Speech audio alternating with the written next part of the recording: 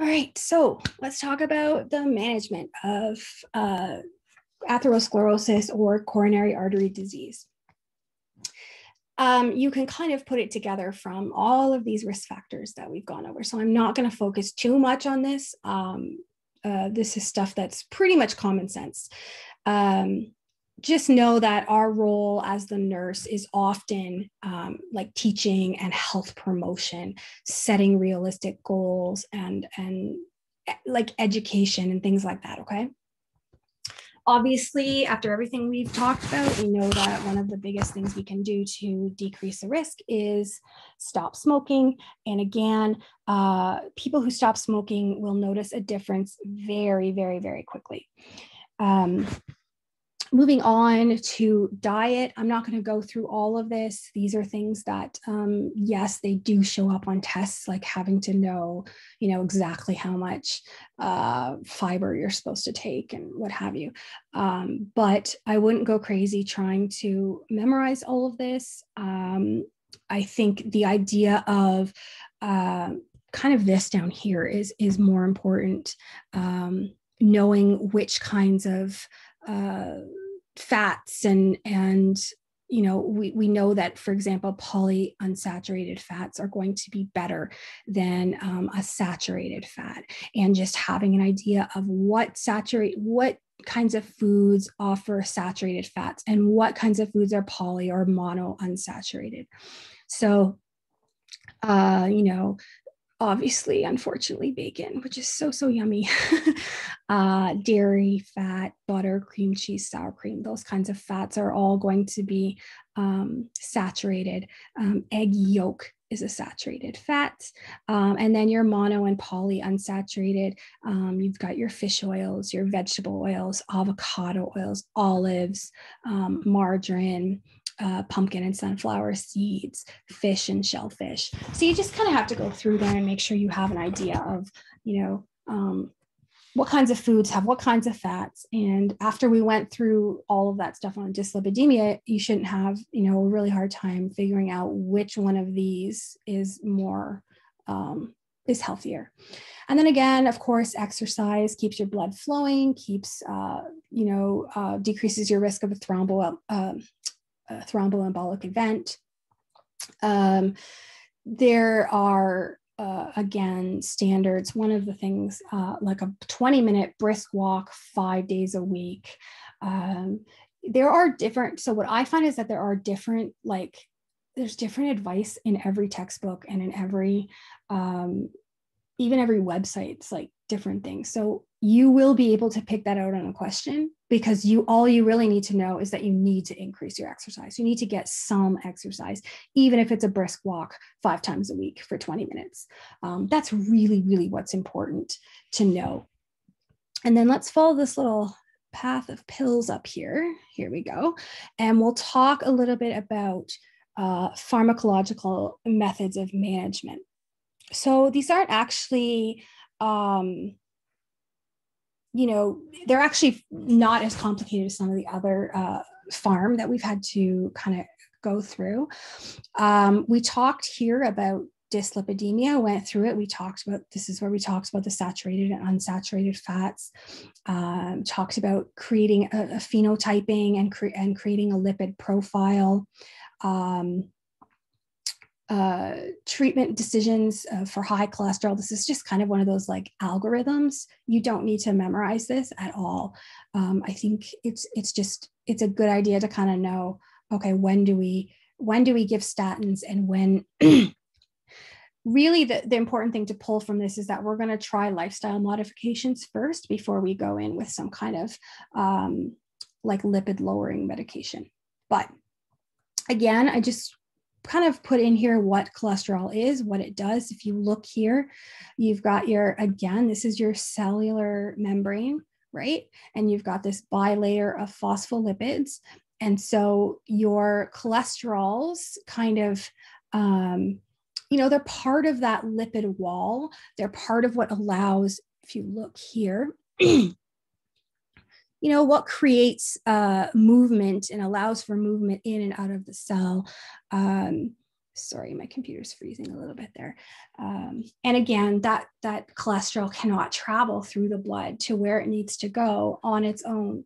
It needs to uh, be broken down into these little uh, lipoproteins in order to move through the blood. And so when we've talked about how dyslipidemia being really the highest uh, risk, right? So these are the, this is something that we we want to uh, uh, address our treatment, right? This is where we want to address the, the management. And so yes, you can eat lower fat foods, you can eat lower, you know, all the dietary stuff and the exercise stuff we talked about. Um, but we also talked about um, these these lipid lowering drugs. And so the really the main uh, lipid lowering drugs would be your statins. So they're really just called statins because they all end in statin. Simvastatin, rosuvastatin, atorvastatin, lovastatin. These are your um, uh, Lipitor, Crestor. Those are the name brands. And what these do is they actually inhibit or decrease the amount of cholesterol that your liver is is creating. So remember I said that your your body actually creates the amount of cholesterol that you need, but you're eating more. And so it's saying, well, then let's create less in the liver. So it will actually block uh, the enzyme that's responsible for synthesizing um, synthesizing uh, cholesterol, which will decrease your your LDL. It has an effect on your uh, receptors as well. So uh, increases the receptors um, for LDL and increases um, um, HDL production. I remember we said HDL is important because it's kind of what rids the body of the LDL. That's what carries it to the liver. So a medication that can decrease uh, lower density lipoproteins and increase higher density um, is going to have a huge effect on the amount of lipoproteins that are building up or, or LDLs that are building up in the bloodstream, right? Um, an adverse effect, liver damage, I find this really easy to remember because, you know, it's basically working in the liver. So, um, you know, possible um, um damage to the liver. This rhabdomyolysis is, is fairly rare. Um, it, it's a side effect of a number of medications. Uh, basically, what happens is that your your muscle cells die and then some of the like contents of your muscle fibers are released into the bloodstream and they build up and cause like um, just issue problems with muscle movement and what have you um, it's again it's fairly rare it's not something that on an exam that you you know you necessarily you would need to focus on it's more this liver damage that you would be um, concerned with. So if you have a question about you know a patient who's on statins what kind of blood work should you monitor? Um, and it's a select all that apply. You know you would definitely get the obvious ones like your lipids a cholesterol what have you but you would want to do um, liver function as well your lfts um, just to keep an eye on uh, any damage it might be doing to the liver. And then um, this uh, I don't see it as much, um, but what it does is it increases lipoprotein um, removal. And what that means is the, the LDL that does come back to the liver. Some of it will be kind of repackaged and sent back out, but this um, will will increase that um, uh, the amount of LDL that is actually just converted to bile acids and then and then excreted through the biliary system right? And so what happens is you have a decrease in that uh, the the amount of cholesterol and LDL that's being made in the liver. So not only are you getting rid of the LDL that's coming to the liver, but you're not using it to create more cholesterol that then that's going to be broken down into more LDL and sent out into the body, right? So it's kind of hitting uh, on two fronts. Um, really, the only adverse effects that you need to worry about would be this GI symptoms, um, belching, heartburn, constipation. But these are symptoms that again, they're usually transient. They usually go away after a few weeks of being on the medications.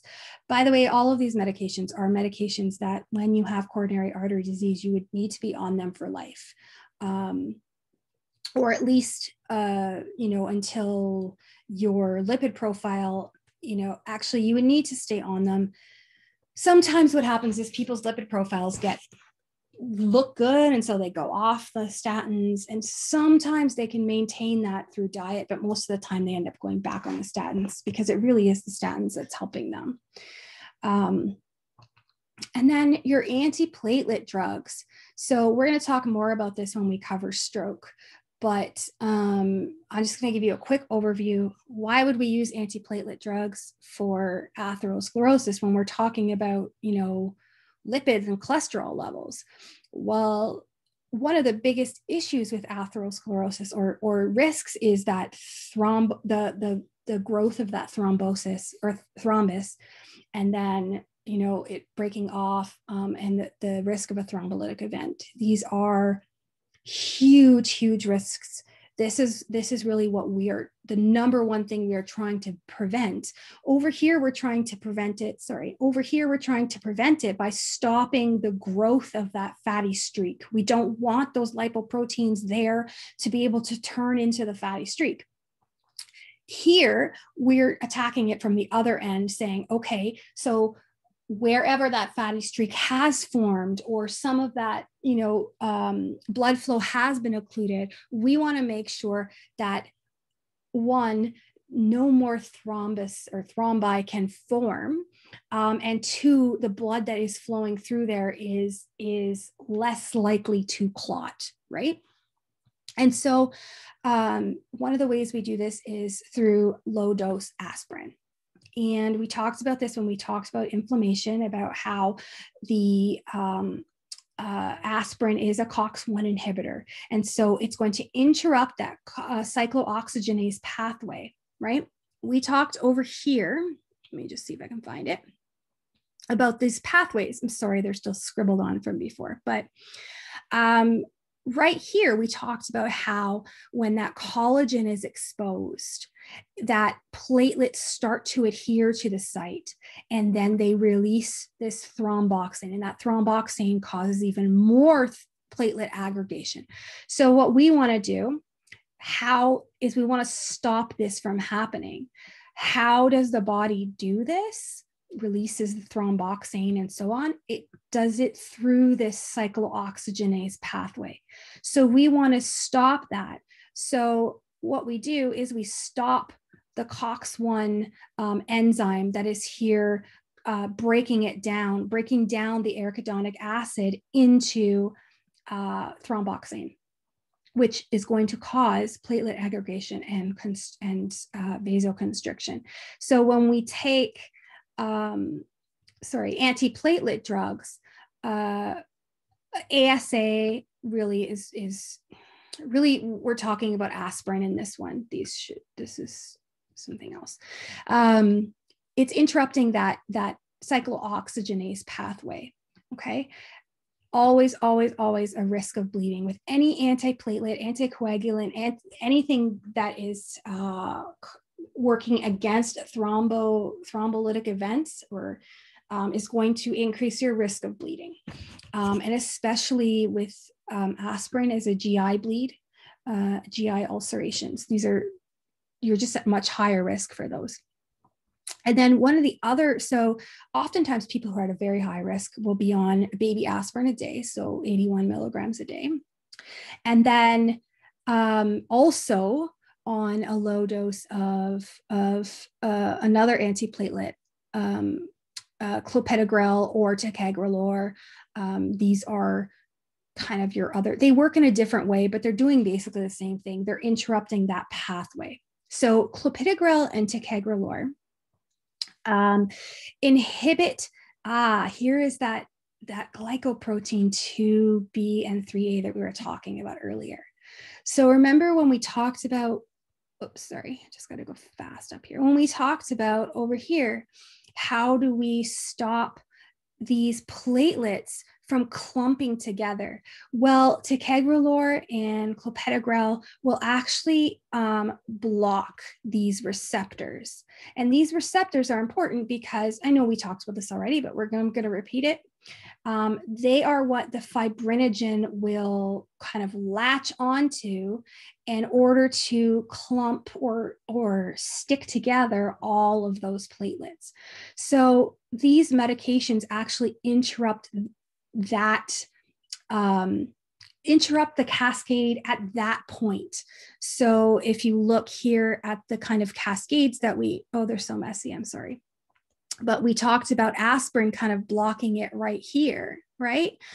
Um, clopidogrel will actually um, stop it more here, right? So, so it's stopping those platelets from adhering in the first place. Um, and it also will have effect, I mean, on when you get to the end of the, the clotting cascade, um, you'll see here that we need the fibrinogen to make fibrin. Um, so if we're, you know, affecting the amount of fibrinogen that's being used, that's going to have an effect as well, right? Um, okay, so I just want to go over here. I think that's our last medication. Again, so really, it inhibits platelet aggregation. Honestly, it doesn't matter where in that path it's doing that. It doesn't matter um, sure, you can you can remember glycoprotein 2A and 3B. I, I would be really impressed if that popped up on a test. Um, but the idea is that it inhibits that platelet aggregation, and this one inhibits the cyclooxygenase pathway, passageway, sorry, pathway, your aspirin. Those are really our two um, main kind of, yeah, uh, main kind of uh, like blood thinning management. Um, so I will post this uh, giant kind of mind map that I've made that it's, it will have less scribbles on it when I post it, I promise, um, for you to use to study. Um, and I should have some study notes made within the next couple of weeks as well. So hopefully that helps. This this unit is really really um, intense, I guess. Uh, it has a lot, a lot of different things to think about, but um, I think I've highlighted the main things that you really, really need to understand. Uh, and if you have any questions, you can email me. Again, it's Lauren at learningwithlulu.com. Uh, so you can email me there.